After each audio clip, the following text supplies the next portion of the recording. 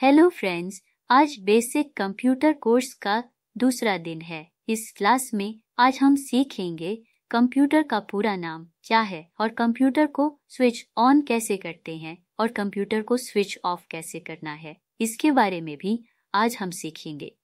Full form of computer computer का पूरा नाम क्या है? C common O operating M machine P particular U use for T technical E education and R research how to switch on computer computer को on करने के लिए. सबसे पहला स्टेप मेन पावर का स्विच ऑन करें.